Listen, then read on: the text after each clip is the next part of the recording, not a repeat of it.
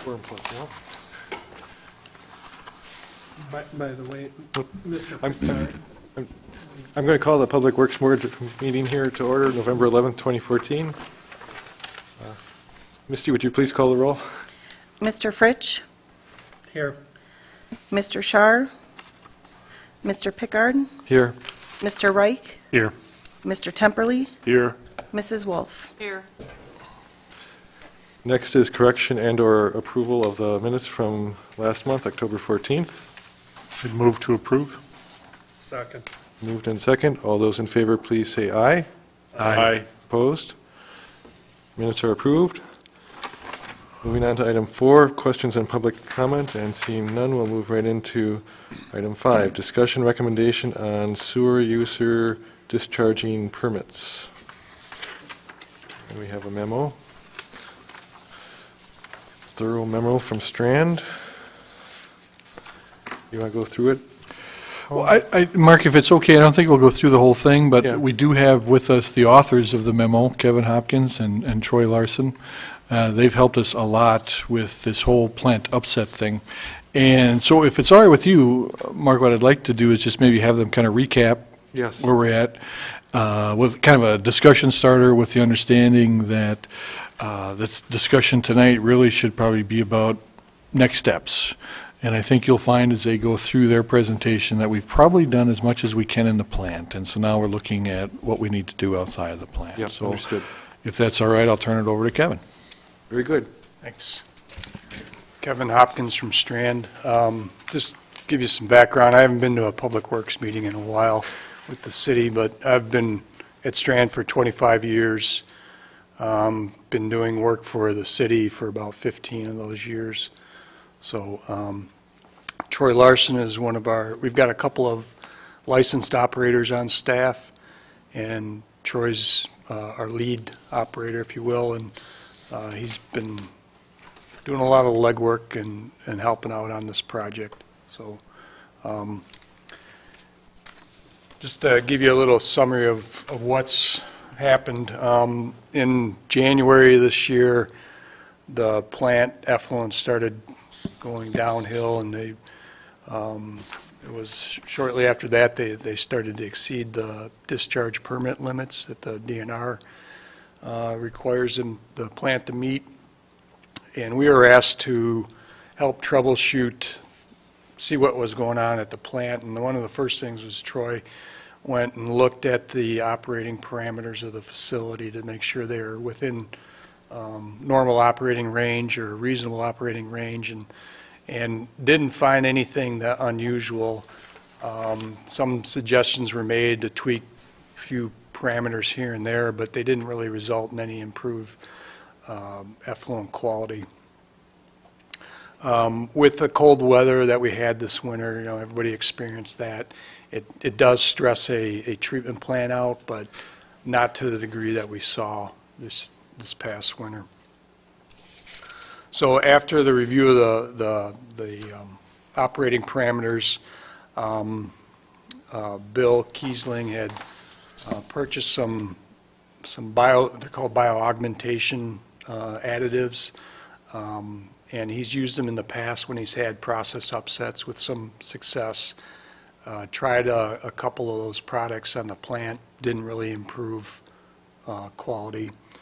Um, Another thing that was done was uh, to visit, um, we visited 25, or mostly the city visited 25 facilities in the city that discharge to the treatment plant, including the, the DOT rest stop. And uh, the idea there was to um, get an idea of what these facilities were discharging. Is there any chemicals that they're using, um, any processes that would impact the treatment plant? Um, I'll talk a little bit more about that in a second. Uh, The other thing that we, that was done was to add a full-time pH meter uh, or permanent pH meter in the influent structure of the treatment plant. In the past, they would just take grab samples, run a sample up to the lab, measure the pH. With the full-time permanent pH meter, um, you've got data running full-time, 24 hours, um, and you can see when there's spikes or dips in the pH. Typically, we want, wastewater is going to be around neutral, give or take. Um, And we just wanted to have an idea, better idea of what's happening in that regard as far as what the pH was coming into the, into the plant of the wastewater. Um, The other thing that was started uh, this summer and is still ongoing is the cleaning of the oxidation ditches. The idea was that um, if we've got a lot of grit material building up in the oxidation ditches, that's taken away volume, uh, treatment volume. Um, So we wanted to clean those out just to try to improve things. So with the industrial and commercial uh, site investigations, basically we went to the facilities, interviewed key staff, again, seen, looked to see what, um, what their operations were, and in many cases, uh, they would discharge little or no wastewater to the, to the sewer system. Um, So those are kind of checked off the list, and we moved on. Um, There's four, three or four that, that kind of stood out um, and those included uh, Crystal Farms, uh, Tyranena Brewery, um, Osprey, and Hamlin. At Crystal Farms, the things that we found both during the uh, site visits and afterwards, when the city started doing sampling of their wastewater, was uh, they had a high BOD, or biochemical oxygen demand, high-strength wastewater going into the system. Um, They're relatively, they're very close to the treatment plant. They can't get much closer than where they're at right now. So anything they're discharging to the sewers is going to come to the plant fairly quickly without a whole lot of dilution. Is that good or bad? The dilution, Yeah. um, it can help in many cases, um, but th- there's just no, there, there's not much travel time between once they discharge and once it gets into the plant. Is- what- what- What's the volume of fluid in the oxidation ditch versus uh, typical uh, influent in a day or in an hour? Uh, What's the turnover rate of the ditch? What- Whatever kind of statistic you can, to give me an idea of, Um, it's, yeah. it's about 24 hours, give or take. So there's about 24 hours detention time in, in the ditch. okay. A- And, you know, typically these oxidation ditches are very robust. I mean, they've, they've served the city well in the Yeah. last 20-plus years. Um, And, tha- and that was, I guess, one thing that, that struck Bill in particular and us when we were, when we got involved, is that he had just, you know, typically had such good effluent quality out of the plant, and things just really started sliding this past January. Um, So the, the, the other thing at the Crystal Farms, um, the, we noticed pH swings in their, in their wastewater, high BOD, biochemical oxygen demand. Um, The, the plant has seen chunks of cheese coming into the plant and collecting on the, the bar screen. That's kind of the first line of defense at the plant. It's, it's doing what it's supposed to do. It collects solids and, those get deposited in a dumpster. But you don't, usually don't want to see chunks of cheese coming into your treatment plant because that means there's, there's fat associated with that and it makes it, it's more difficult to, to treat. Um, The other thing was, uh, one thing that we noticed when we were on site was they use quaternary amines, or chemical, cleaning chemicals that contain quaternary amines. And, uh, you know, the, the good news is that quaternary amines are very effective biocides, and a lot of uh, food processors use it. The bad news is that it's an effective biocide, and it's very harmful to treatment plants. We- We've got a biological system at the treatment plant, and um, these quaternary amines can be very detrimental, and in some cases, they, they'll kill off a plant. Um, And, you know, a plant will have to bring in new, new bio, new seed to, to start up the plant, and we've seen that happen before. So, so this quaternary amines, how long have they been it- I'm sure it's been a ramp up uh, in in terms of use in the industry, in the, in the- in cleaning. Has it been over the last five years or t- 15 years? Do you know, do you have any idea what the prevalence rate is, increase rate? Um, I- I- Probably five to 10, but Troy, I don't know if you can, Well, anecdotally, I, we couldn't, we couldn't give a statistic on it, but yeah, it- what's happened is they're, they're what's, uh, they bioaccumulate, they bioaccumulate, they're a little more pervasive, so what, uh, the advantage of them is, is that if you like pour it on the floor and, at doorways, it will have potency for much longer than, say, a chlorine. A chlorine would kind of spend itself, it would wear itself out and become inerted. And these quaternary amines are favorable to the industries because they have that staying power. So there has been a trend towards them at the detriment of wastewater treatment. Yep. Thank you. so those are the things that we saw and, and at the, at the plant and discovered after the sampling was, at, at Crystal Farms, after the sampling was performed. Um, uh, The brewery was somewhat similar. Um, We saw a big, we saw large pH swings, both uh, going acidic and caustic, you know, below and above seven on the pH scale. Um, Fairly high BOD and phosphorus concentrations in their effluent. Um, And, uh, uh, you know, with, with the additional loading from these facilities, and, and they haven't been sampled regularly until recently, so they may have been discharging at those higher BOD and phosphorus rates for some time. We're not entirely sure of that, Um, but, you know, we, we don't have a, a true smoking gun, if you will, as far as what's going on with the plant. We've got a lot of evidence of, you know, high BOD, quaternary amines, things like that, that have had, likely had a negative impact on the plant. Um,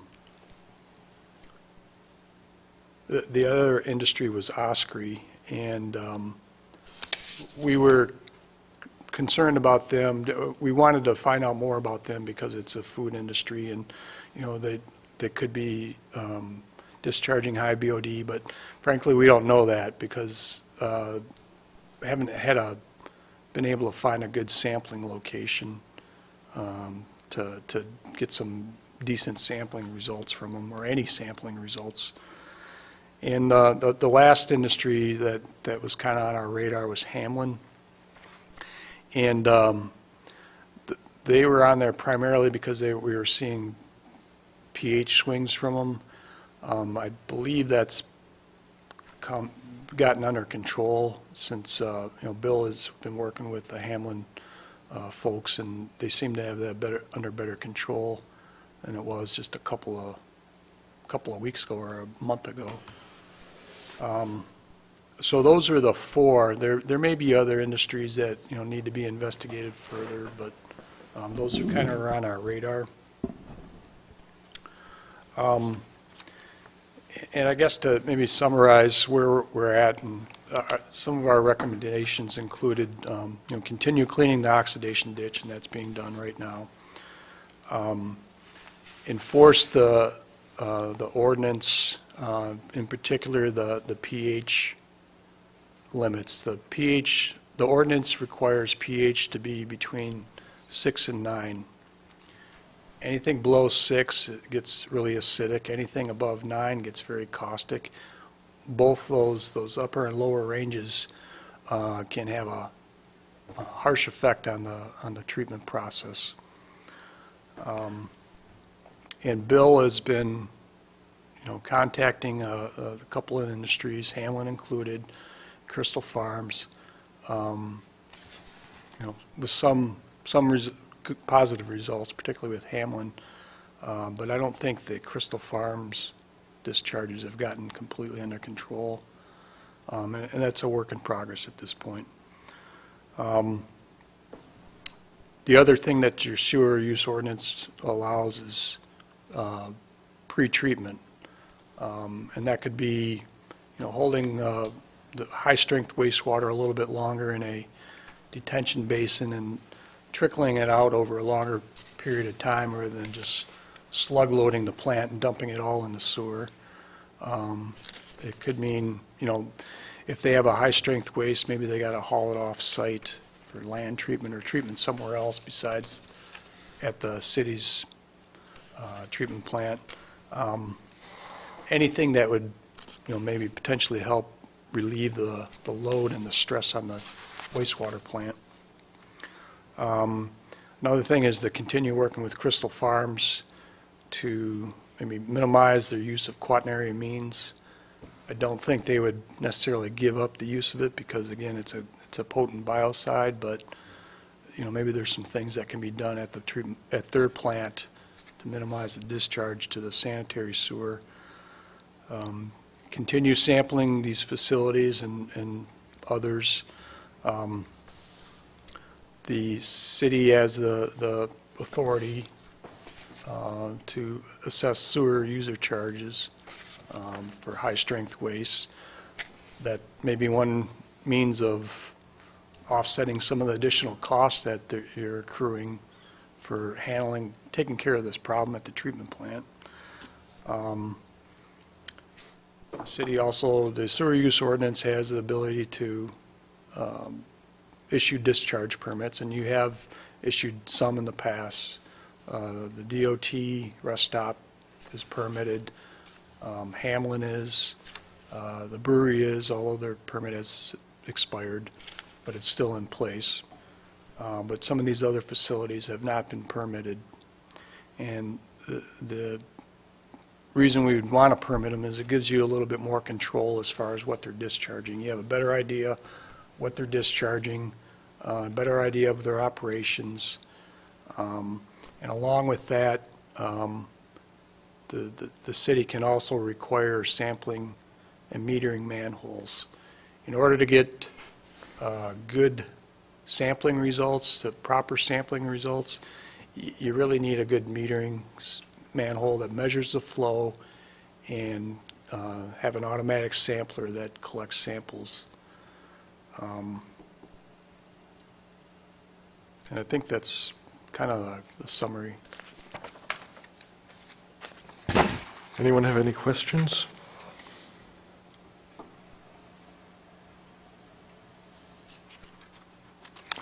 Well, I have some.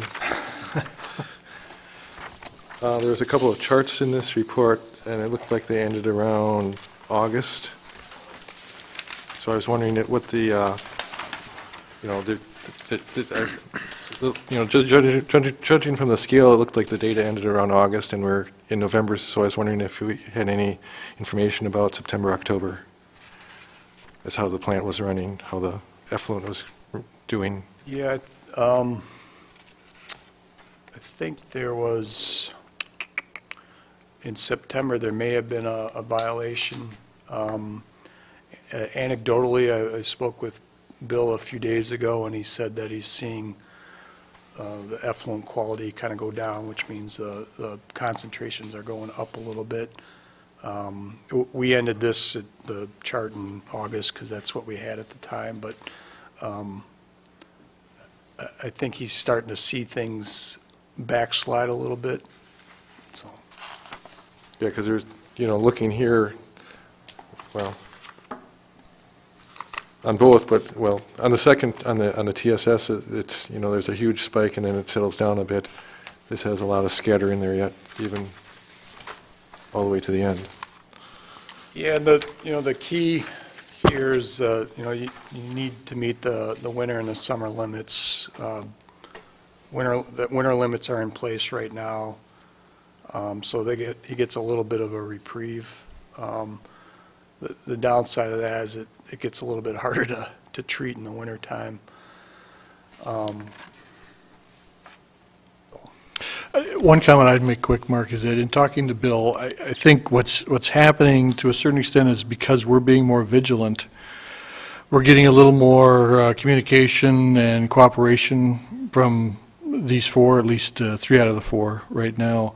So, as Kevin said, there is, you know, it's still not great. There's a little backsliding every once in a while, but because he's been in contact, you know, almost on a weekly basis with some of these folks, uh, you know, we've seen some improvement, but it's more of, uh, you know, we're able to kind of get a warning that something's coming as opposed to we've got the plant set up and able to handle what's going on right now. Yeah.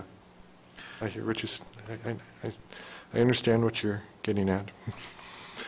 Um, uh, And up, up, the oxidation ditch cleaning, what's the status of that? One is done, and now we're just kind of waiting on the weather. And actually, this kind of weather isn't bad, really, for this. Um, eh, So we're hoping now to get that done actually before the snow flies and it freezes and all that sort of thing.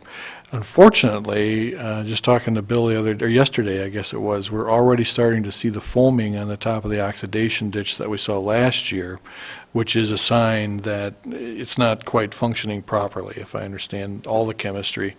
That was kind of a real red flag when it starts to foam, and the, the one that is in service right now is starting to foam, so. That- So the one, the one that was cleaned is the one that's in service, it's starting to foam? Not quite. The, the one that's, was cleaned is not quite back in service yet, so we're, we're still operating on the existing one. And our hope is to get the original one, number one, if you will, going again, and then get two cleaned ASAP. And then we'll also have some data to say, say, did this cleaning do any good comparing, Yes. comparing the two? Correct.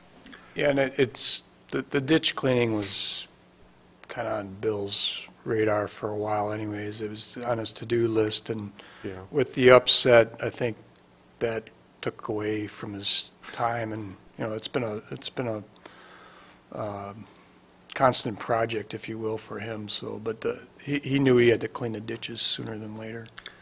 Can I ask, how deep is the layer of grit in the oxidation ditch? We talking inches, feet? Um, I have not seen pictures, uh, the last time it was clean, which was 10 years ago, maybe, 12, 12 years ago. I mean, there would be piles, it, it varies, it wasn't just a uniform covering, but there would be, you know, a couple of feet of grit and spots. So in other words, the volume, the reduction that it causes is somewhat significant then. Yeah, there's a couple things with it, the- not only the volume that's consumed, but th- think of this oxidation ditch as a river that just keeps replenishing itself. What, where it deposits its solids first is in the corners, and then that changes the velocity, so you start having this, these errors, areas that are impacted, and you start having some solids, you know, this is a, supposed to be a controlled aerobic environment. You start having environments that are no longer controlled, they're no longer aerobic, and you start seeing some fringe biology going, and that, that is just out of your control, so therefore it's, it's not a good thing because these plants are intended to be under their control.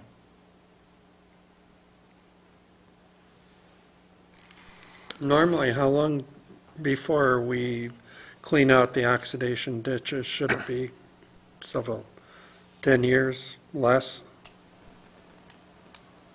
Well, I mean, if,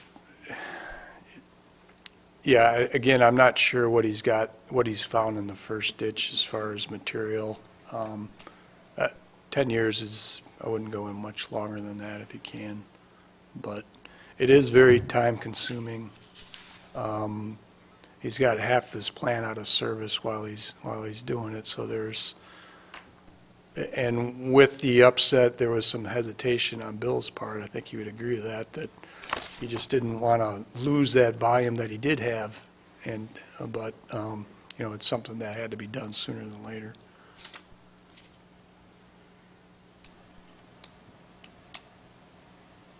Any other questions, comments?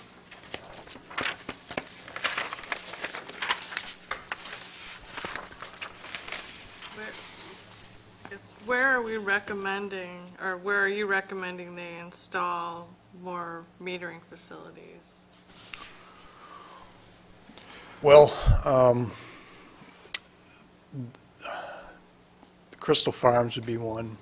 Uh, Are you- are you talking about in which facilities? Crystal Farms would be one. Um, Osprey would be another one. Um, um, The brewery. I mean, we, we know that there, the, two of the, two of those three are, are discharging high concentration wastes. Um, uh, Osprey's a little bit uh, we do- we don't know what's coming from Osprey. Um, And I think, it- you know, it needs to be, there may be a- a- another industry or two that we just haven't pinpointed yet um, that may also require, or should have a sampling manhole. It, it says in here that that cost is the responsibility of the discharger. Are we going to enforce that? That's the big question. Um, There's some hesitancy to do that. It's an expensive thing for the, uh, for the company to do. Obviously, it's a very important thing. Not only does it give us uh, the information we need to know what's going on, but it, it again, is that, that warning system, so we, we know something's coming. So that is, you know, the hesitation has been, quite honestly, that it's an expensive thing for a company to do, and i- should it really be the, the financial responsibility of the company to do this, or are there other options? And, and so I guess it's a question of uh, political will, almost, if I may, to, to enforce this. The ordinance actually is quite clear, though, so it would require an ordinance change for us to shift the burden from the, from the company to the taxpayers or the ratepayers. So right now, that it doesn't appear to be optional. It's in the ordinance, and that we don't have the ability to just turn our backs on what the ordinance says. We have a ballpark of like how much money? I, I think we said something between eight and 10,000 at, at one time, am I in the ballpark there? yet? Um, It may be, that's probably on the low end. I I think it's probably more in the 10 to 15 range. That's for the cost of the metering at each facility? Yeah, that, that would include this, uh, basically a a manhole structure with a, a metering device in it. Typically, it's a flume, um, open channel type flume, uh, electronics to measure the depth, which converts that to flow, um, uh, probably a sampling hut, and then an automatic sampler. So there's, there's a fair amount of expenditure involved and effort.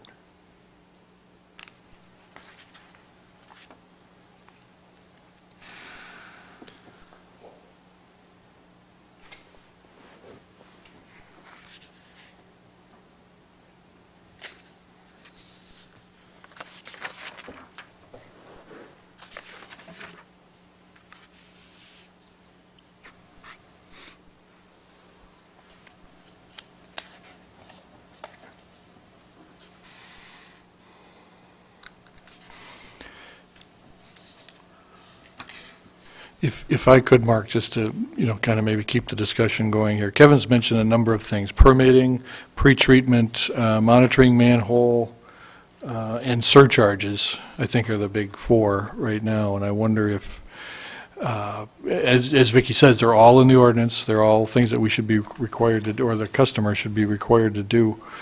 I wonder if, if it would be worth it to just kind of talk about them in steps, and that would, you know, number one would be permitting, and that we, we really step our enforcement up of permitting.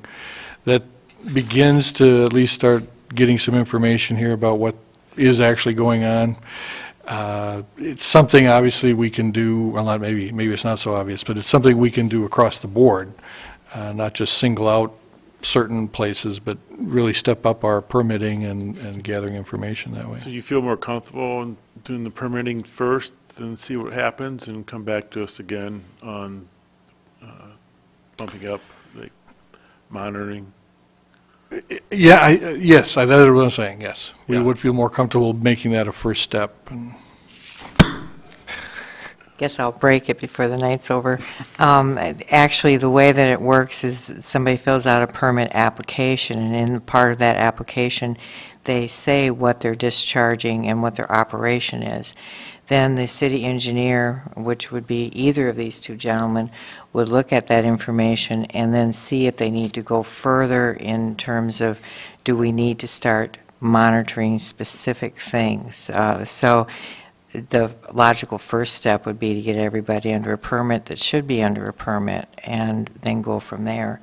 Uh, We have done requirements of monitoring manholes in the past, and, uh, and it- we usually don't resort to that until we've pinpointed a problem of a specific nature that is causing a bad outcome at our treatment plant, because the city is under a permit from the DNR.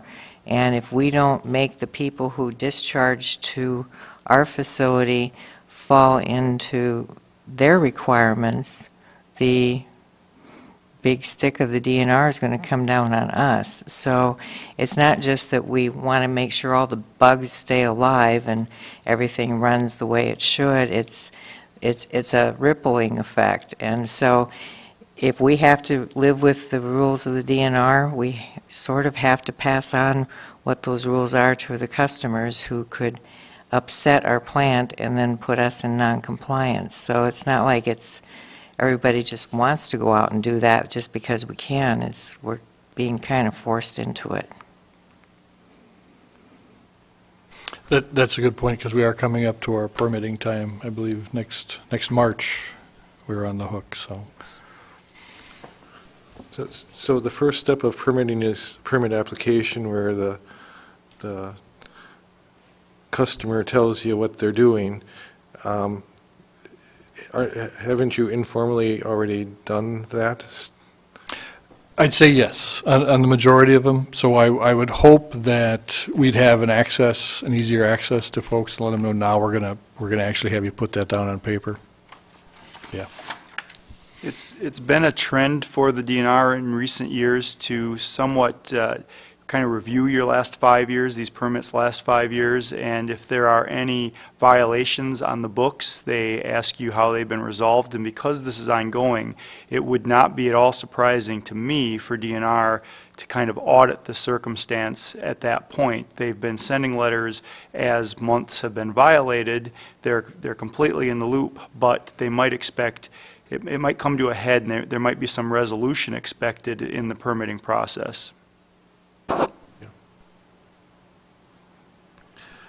And un- until we see exactly what everyone is dealing with, it wouldn't really be fruitful for this body to say, well, we want you to do one kind of enforcement of your sewer user ordinance um, instead of another, because each search, each situation is going to be different. Some people, it might make complete sense for them to do uh, somewhat limited pre-treatment. Other people, it might be that, um, like, um, I think it was Kevin said that they may have to treat off-site. Um, But until you know what their effluent is and exactly what their operation is, you can't make those decisions. And monitoring manholes also, it, it's not necessarily one size fits all. It's the individual effluent uh, to drive that decision.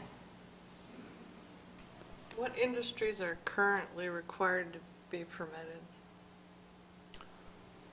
Um, Well, there's, the, the current permits are for the brewery, um, the DOT rest stop, Hamlin, um, I think the,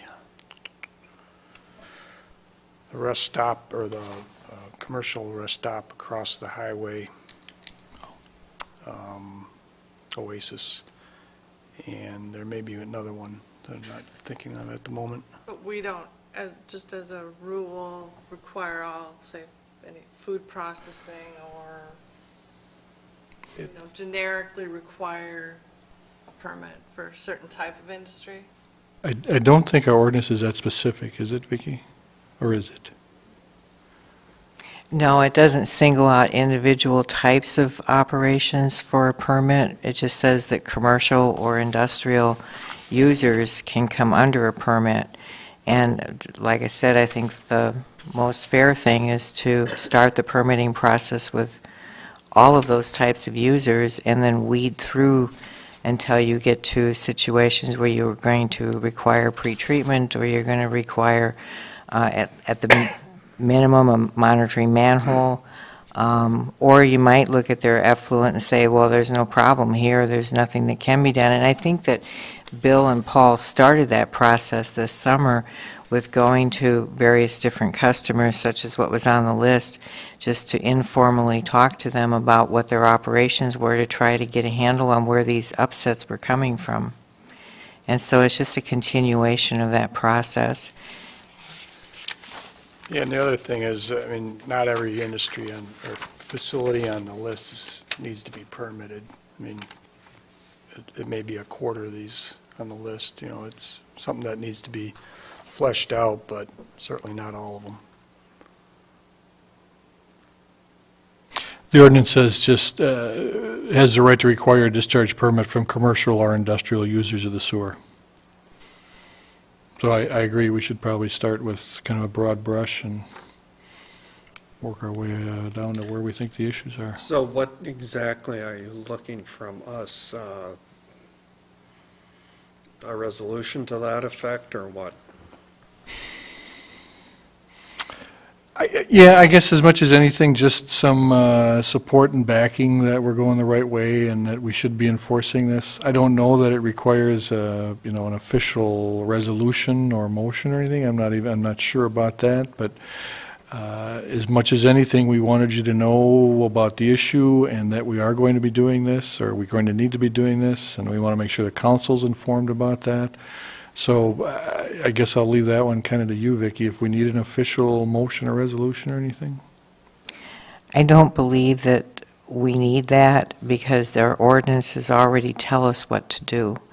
Um, I think Kind of More for- Consensus from us? Yeah, um, I think that most of the value in having this discussion is just to make the Public Works Board aware of it, and, um, and like Paul said, eventually the council, as well as the public, as that filters through and people watching, that, yeah, we do have to start stepping up our enforcement. That doesn't mean everybody gets a, a ticket or a citation or anything. It just might mean that we have to be a little bit more mindful of who the customers are and what is it they're doing. One way that we've enforced in the past, and with a certain amount of success, has been the grease traps in all of our food service type industries, uh, like restaurants, that sort of thing. So it's not like we haven't done anything in terms of trying to control what goes into our wastewater treatment plant. Um, And um, that has been met with a certain amount of success. And um, so as we continue to look at what other kinds of discharges we have, um, there's a whole range of options available. On the, uh, I think Kevin mentioned tonight about the, the stronger strengths of the discharges. We do have the ability to, to issue a surcharge, and that's in our rates already. Um, If, but we can't do that if we don't know what is being discharged, and that's kind of where the monitoring manhole would come into play. I guess from my perspective, I guess, so that we're in compliance with our permit with the DNR, that the staff take and be vigilant and, you know, work with uh, our commercial and industrial base as to try and, you know, like, it sounds like you guys are doing, to take and make sure we're in compliance so we don't get in, into trouble. And, um, um, I lost what I was gonna say. Well, it sounds like the wastewater treatment facility and operation has everything you, you guys really need, all the tools you need. But you just may not be, and this is not a criticism, you're just not, uh, not executing to the extent of, that, that the ordinances allow, but you, you would be able to if you found something wrong. It sound, you know, I, I heard the gentleman say that we've got no smoking gun here. Uh, There's no clear source of what's, what's been the driving factor for these overages that we've had. Um, Although it does look like, I, I'm not telling you guys how to do your jobs, but uh, it looks like there was big change about a year ago, right? I mean, uh, what was the steady, it was all steady state before then, and then all of a sudden a big change. So I'm not sure what kind of new factor might have come into play that And I, I don't know if you've, you've thought of that at all. That, that was a big part of the conversations with each industry. That window of time where the change occurred uh, was asked of everyone, and uh, there was nothing divulged anyhow that was No new that intriguing business? from that. No There- s- Yeah, there wasn't, uh, there was one interesting bit where one of the, one of the industries had a one or two month shutdown that preceded that, and they came back into service. Uh, But that was, I don't know, Kevin, if, Paul, if there were any other things that lined up with that timeline, and that was Osprey, and we do not have the sampling with them, uh, which is a little frustrating because their, their manholes just don't really lend themselves to being able to get a sampler in them, so there's no data to follow. So Osprey does not have a wastewater discharge permit? Correct. Correct. And is that, is it voluntary for them? Well, it's, it's the city's decision as to who requires a permit. So how are we requiring it now? How are you determining who, who, But we're just not doing it. We haven't followed through with it. Well, Ju- Just, So, so, it's the- you know, there are half a dozen uh, customers with- that ha- have permits right now. It's, and it's the city's decision as to who needs to have a permit. Now, particularly with Osprey, it sounds like you have very little information from them. So that's, to me, is a pretty obvious one to hit harder. If, if you use a carrot and a stick and the carrot doesn't work, then that word that you guys have been using a bit called enforcement comes into play. Yeah. Yep. You're right. Now, I guess I'm, I'm unclear though why some companies, it says like Hamlin has a discharge permit and keeps it up to date, Tyranena is expired.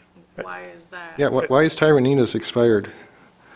um, y- you can blame me for that one. I, I, it, it, it's expired, but it doesn't, you know, it's, the expiration just means that we haven't ha- sent out a new application to, to renew it and get that updated information.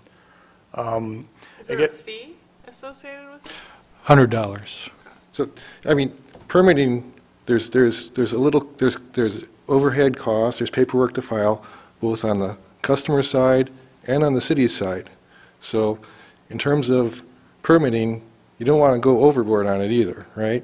Right, and I was just going to say that some of the permitting that's happened over the last 10 years or so um, was in reaction to something. For instance, the DOT rest stop, they asked to come in to this, to the city with their wastewater. Uh, So, you know, that, that, that's how they got a permit. Um, Hamlin's permit, I think, was in place before I got involved, but um, you know, the- the the brewery, it's one of the first permits that I was involved with, um, with the city. So, and that was kind of a reaction to them growing, them being in place and saying, hey, this is an industry that, you know, we should keep an eye on. And it, you know, it hasn't been done across the board, um, but it hasn't been an issue either, for that matter. The plant's been running fine. That's right. You only, you don't do extra work if you don't need to do it. You only do what you need to do to, to get the job done. Don't, don't, don't, don't, don't, don't over-engineer, don't over- over-process. So, in terms of permitting, yeah, some of these, obviously, you know, Osprey, Crystal, maybe a few more, definitely. But where- where- how far down the list do you go? How do you decide that? As far as, and, and here- here- here's a question. When you do, the first step is a permit application, so you ask the customer to fill out an application, right? Is there a, kind of a higher likelihood because of the potential of law breaking that you're going to get more honest answers that way than the informal way? Um, But that's a loaded question.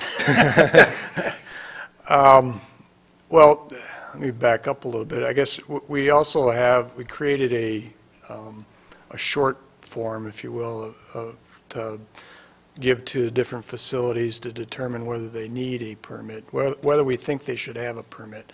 I think we start there. Um, I think in general, folks are going to be forthcoming, but, um, you know, things change at a, tre- at a, at a uh, industrial facility or whatever the case, whatever the facility may be. They get new staff in, they get new different processes that use more wastewater or less wa- wastewater, they use different chemicals. They don't- don't necessarily even know what they're doing. Yeah, there is that, yeah. That is a part of these, these meetings that we held already, was an explanation of the treatment plant and the fact that, you know, a description of the fact that there was a biological process that could be interrupted and that there were settling processes that could be interrupted chemically. And, and oftentimes, that is enough. There's, there's, often those folks can take that information, take away any stress that might be imposed on the treatment plant, and oftentimes you don't get to the smoking gun, but you did indirectly, and, it- and the problem doesn't res- return. Yeah. Well, I guess I'd say you do need to do what you need to do and keep us informed as to what's happening. We don't want to stay out of the loop. Yeah, I agree with Doug. The rest of us were under the gun from the DNR. So um, if anybody in the Public Works Board or City Council disagrees with ordinances, they can give Vicky a call tomorrow and start the process to uh, lighten them up. But if none of us do, obviously, we support these ordinances and we support staff to enforce them. I could, I'd like to suggest or commend the, your staff for their communication with DNR. They've been keeping a list of the efforts that they've been making, so it's, it's obvious to DNR that you're not sitting on your hands. Uh, they're doing things, uh, taking initiative like setting up the samplers to get the information they do have takes a lot of effort, and it's been easy to, to talk them into, if you give them an idea, that they want to get to the bottom of this so much that they're, they're acting on it. We've more or less audited their lab. They've responded with any effort required to any of those questions. So there's real effort that can be demonstrated to the DNR, and oftentimes that's very important. Am am I perceiving correctly here that the value of the permitting process is really discovery of what's going in, what each industry is potentially loading the system up with? Um, That's, that's a large part of it, and then, the- and the other, you know, if, if you do see uh, an issue, um, then we take that a little bit farther and, and use the ordinance language to, you know, have them put in a sampling manhole if it, if it comes to that. So out of the 25 businesses that you've got on the back of your memo, uh, that list of businesses, could you do a, like a priority ranking of what would be the most, you know, suspect industries or companies that you might, uh, you might ask for a permit? Well, we named uh, three, um, Tyranena, update their permit, um, Crystal Farms, Osprey, um, possibly Astelin Engineering, um, Cleaners? Yeah, not, that, that's a possibility. Um, What's, what's harder on uh, a treatment plant, biological stuff like from food processing or chemicals from things like plating operations? Or they, doesn't matter, they're both, they can both be, Well, the, the, the biological loading puts a stress on the plant, and, um, you know, you can have trouble meeting limits uh, under those stressful conditions. Uh, A plating process, if, if they've, if they're discharging any metals, which, you know, they're all regulated, they're limited by what they can discharge, um, uh, or if there's other chemicals, that, that that could have a, you know, pretty har- harmful effect on the treatment process too, so, um,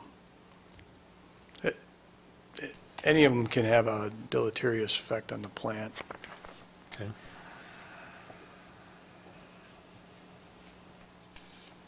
So- So Paul, did you, do you think you got what you wanted to get from the Public Works Board? I do, yes. We've gotten some direction and some support, which we're looking for, so we will be kind of willowing that list down a little bit, and uh, I think in the back of our heads, we do have some pretty good ideas as to where we want to begin and what we want to do, so, yes, thank you. I thought the report was very thorough, and I- a lot of work's been done over, in the last year. A lot of good work between city and Strand. And I'm, sh- you know, I'm sure, and and it's good to hear that the uh, DNR is being kept up on that, because that, that does help a lot, I'm sure. And good- good job, everybody. We'll get to the bottom of it and stay in spec. If nothing else, then we'll move on to the next agenda item. Discussion on water leak detection. This one is, I gue- I think in a similar vein, we wanted to uh, get you some information about what's going on here. We don't have uh, a lot of analysis or data or anything ready to go, but we wanted you to be aware of what we're doing and what we're finding and kind of our uh, initial first steps. But I think, as you know, we've, we've talked uh, in the last, past few years, I think past three years or so, our water loss uh, rate has gone up quite a bit. It had hovered around, oh, I don't know, 12 to 19 percent for a while, and then we bumped up to the 30 percent range. And that is another thing that gets the DNR's attention as well as the Public Service Commission atten- attention. So uh, we kind of took some, some baby steps initially, and we plugged some known leaks that we had, or things that had finally started to surface, and we had some issues at one of the reservoirs that we took care of. But it's very frustrating, we're still not seeing the decrease in the water loss that we had hoped we would see. So we, at the uh, strong encouragement of the DNR, uh, did a leak detection study. And real quick, what that amounts to is we hire a contractor to basically go from fire hydrant to fire hydrant, and with a very sensitive listening device and a a- a correlator, they can determine where there are leaks. And we knew that that would not be a real positive report. We weren't quite ready for 27 leaks, though. That's, that's very high for a, a- a city or a system our size. And so part of what I want to do tonight is just make you aware that we have taken the first step in trying to find out what's going to our, what's, where our 30% is going now. We don't anticipate we'll ever be down to zero. That's just not going to happen. We're kind of shooting to get down to maybe 15 to 10%. But what we found in a study, which was a little concerning, as you see on the screen or you see in your packet, that of the 27 leaks, 16 of them were uh, fire hydrants. It's the hydrant itself that is leaking somewhere. And of those 16, the majority of them are in like the East Mills, uh, Brewster Street area. And so we went out and took a look and found that every one of those hydrants is the same brand of hydrant, put in about the same time. And so our first step is absolutely going to be to find out what's going on with those particular hydrants. Now, we've been in contact with a company by the name of Ferguson, and they've indicated they've had trouble with that particular make, model, and age hydrant in the past, and so they're going to come in and show us what we can do to check. Apparently, there's a couple of gaskets that either were not good to start off with or fail pretty quickly. So hopefully, uh, we can begin to take a quick uh, fix, a quick and inexpensive fix to getting some of these hydrants taken care of, and then start seeing what effect that has on our water loss. The ones that are in the older part of town, we're going to have to do a little more investigation. Some of those might require total change-out. Then things get a little more expensive. Hydrants are somewhere in the, you know, 1,000 to $1,500 range to change out. And then we get to the next largest category, which would be the main leaks. And those get to be even more expensive to dig up a main and, and uh, see what the or see what, where the leak is. We're probably looking in the range of four to five thousand dollars for every time we, we dig up a broken main. In that regard, however, we've been in contact with the DNR, and there's a, a program uh, uh, that we weren't aware of before this, because we didn't have to be, I guess, but uh, a loan program, a very low-interest loan program, just for these types of things. And so we're gathering more information on that. Uh, If we do intend to participate in that, we have to have a, a, uh, intent to apply note to the DNR by the end of the year. And so we're kind of gathering some information on dollars and timing and that sort of thing. And the way that loan program works is that we would apply at the end of this year, and then money would be available in the end of the uh, state biennium budget, so we wouldn't really see money until 2016. But uh, we can do it, we can actually, we can go fix the mains, you know, spend the money, get the loan, and then pay off, use, use the loan money to pay off our costs. And if we have a tough enough situation where we get a lot of points, is how they score these things, uh, we might be able to get a principal forgiveness on the loan, which means we could, we could actually do it fairly inexpensive. So I, I just wanted to make you aware that we're in the process of exploring a number of ways that we can take care of this water loss. And I do want to put in context. Now, it's, it's somewhat difficult to put a dollar figure on what this loss is costing us. If it's purely water that is just being lost to the system or, or lost out of the system by leaks, that sort of thing, uh, at 30%, it's probably costing us somewhere around $10,000 a year. And we have to look at that un- with the understanding is that it's not money we could have had, it's money that just never went through somebody's meter, or water that just went, didn't go through somebody's meter. So we have to kind of weigh the cost of, of reducing those leaks with the, the cost would actually be to fix them. Now, if it's $10,000 a year and we want a two or three-year payback, we can fix a lot of water mains and hydrants for that. The other thing, however, that we're exploring and that we're a little more concerned about is that we've got inaccurate or improperly recording meters. And that would mean real dollars. In other words, that water is being used, but it's not being properly metered. And so that is lost revenue, truly lost revenue.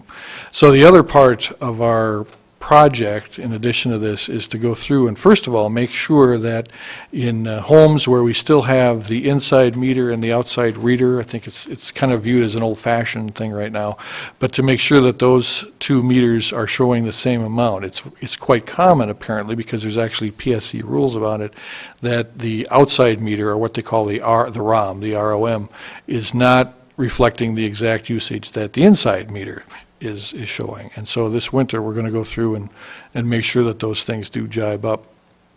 And make sure that the right size meter uh, is in some of our larger customers.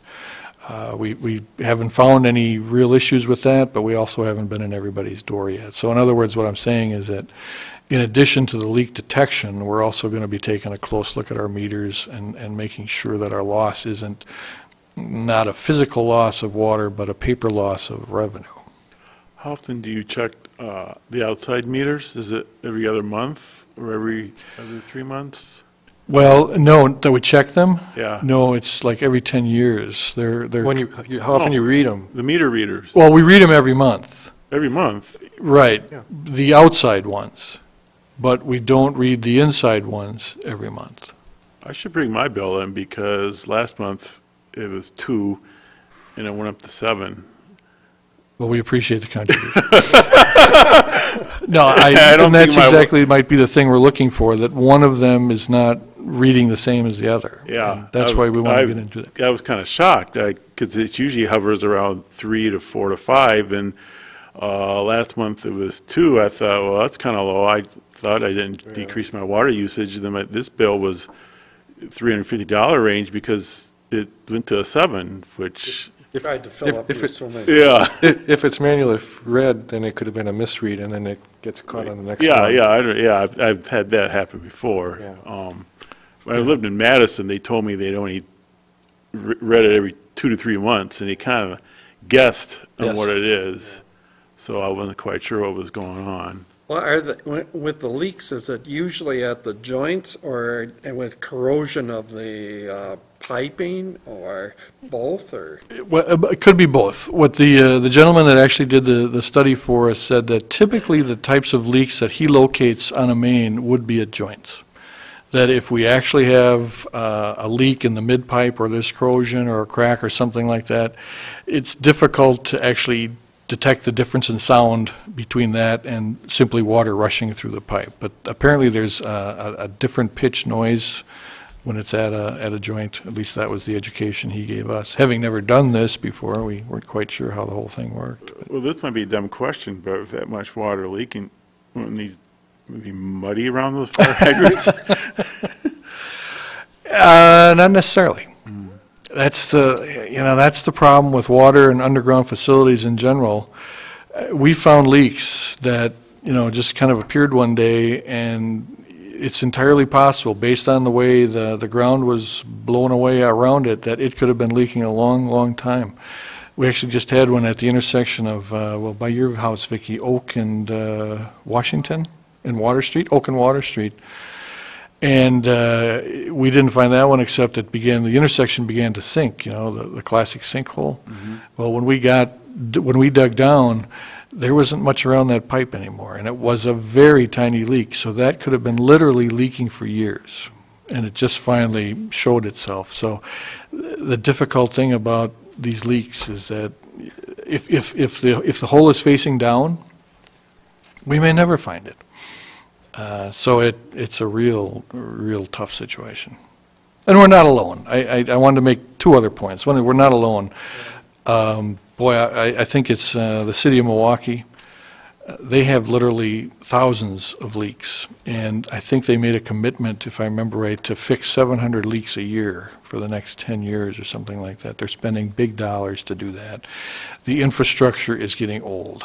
That- that's all there is to it. And so I, I wanted to make you aware of, like I say, two other things. One is there could be some significant uh, dollars that will have to be spent in the next 10, 20 years to, to keep this infrastructure going. Now, we know that when we do Main Street in 2018 or so, that entire street will have to have its water and sewer system replaced. Uh, So, you you know, they've gone a long time, but they've kind of lived their life now. We're going to see more and more of these systems failing. The other thing I wanted to just kind of prime you for, if I will, in regard to the meters, we are considering, and, and we'll be talking to you more about an automated meter system, uh, one that is a little more sensitive. In other words, the meters will detect uh, down to a smaller usage and uh, is able to, or will allow us to see what's happening with that meter literally on an hourly basis. So if something is leaking uh, in a meter, or if a meter is misreading, we will know about it you know, almost immediately with the, the new technology in these meters. And so we're looking at doing that both on the water side and the electric side, and just kind of stepping up uh, to the technology a little bit here. But uh, my, my hope is that in the next month or two, we can make a presentation to you, and, and you can see just what, what's up with the technology, and we can talk about where we want to go in Lake Mills. So you're going to be able to tell me when I take a shower? Maybe not you specifically. Yeah. but It's you or your wife. Well, that'll be, pre- I'll know, but I won't tell anybody. If it's three quarters of an hour. No, you know, you raise, actually, you raise a very important point, and I, and what, what's happening right now is there's a lot of uh, misinformation or some fear about these uh, high-tech meter systems that can do what you're saying, you know, they'll know everything you're doing inside of your house and all that. Uh, We're not going to that, the smart meter stuff, we're, we're not going to that. We're looking at simply a better way to read our meters so that we can, we can be more accurate and timely with our meter reading, and to get some data back so that we know if something has gone wrong. Uh, It's also a good tool for outages. We can, we can have a map now, as they, everybody thinks we have a map that shows where the power is on and where it's off. Well, the day isn't too far away when we literally, literally would have that kind of a map, but uh, not until we change our meter system, so. So if the power goes off, I don't have to call the sheriff's department anymore? You would get dinged at the, my, If, if we're really good at what we're doing, we'd call you the instant before it goes off. okay. Yeah. Are are you keeping the DNR well-informed on this, like you are with the wastewater? Yes, we are. Yeah. The DNR could darn near move in with us with all the times that we're in touch with them. But yeah, we have been in very close contact. This is, this comes out of our uh, sanitary survey, which I think we talked about in the summer. And, We're doing this because the DNR required us to do this, right? Yes, Yeah. yes, and they know we've done it, and they know the results, and absolutely, we're How keeping it. how much did this study cost, by the way? $3,900. Okay. There isn't, as the water leaks out of the system, and it, let's, uh, let's say it uh, starts percolating back into the ground. It- It's recycled. Well, that's my point, is you, it's not going to upset, um, because it's drinking water, it's not going to upset, but then again, you get sewage in that stuff that's leaking, uh, the groundwater contamination. We aren't running into that problem, are we? Not that I know of. I- I, uh, My, my only response to that would be is that bec- this is really, when it leaks at three to four feet below the surface, it really does take a long time for it to get down to our wells, which are, Yeah, you know, quite deep. Uh, As far as where the water is actually going, we don't know. We, we believe in some cases, we're, we've seen it, excuse me, going into uh, cracks in our storm sewer, like downtown here. We're relatively sure that we've got fresh water coming into the storm sewer system, we can't find where it's coming from, and it's just one of these slow little trickles. So it, uh, you know, actually where the water is going, I, I, we don't know. I suspect in a hundred years we'll be, uh, much more on top of this than we are now. And that'll be good for those folks that are around then. Paul, I'm really surprised when you say, when it says we're, we're losing 30% of our water, but it only, when you say it's only worth $10,000 of revenue, that, uh-huh. that That- seems, That's wholesale, really. that Yeah, seems like it- a couple of order of magnitudes off. Well, what, what we're basing that cost on is the pumping cost. Again, it's not necessarily lost revenue because it never made it to the meter, if you will. But the cost, our, our annual cost to pump water is about $50,000. Okay.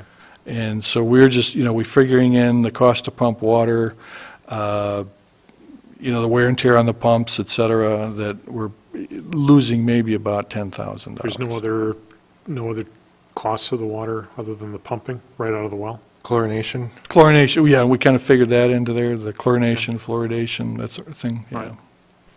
Yeah, it, it is a little bit surprising, but think about that as it being every year, that's Yeah. $10,000 gone, and so it's a big enough issue that we're going to go after it. But I could see where if we were to fix every single thing on the sheet here, that'd have almost like decades break even be. if you Yes. were- If you were just gonna, Exactly, and that's my point. point, and that's why we're going to go after, if you will, the low-hanging fruit here and see what, what that does. If we don't have to dig up any mains, we'll wait until they break, or they, they show. yeah, But, uh, yeah, that's why we're going to take it in the steps we're going to take it. okay.